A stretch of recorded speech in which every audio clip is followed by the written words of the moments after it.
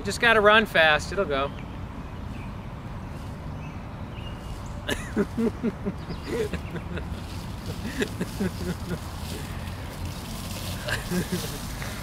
uh.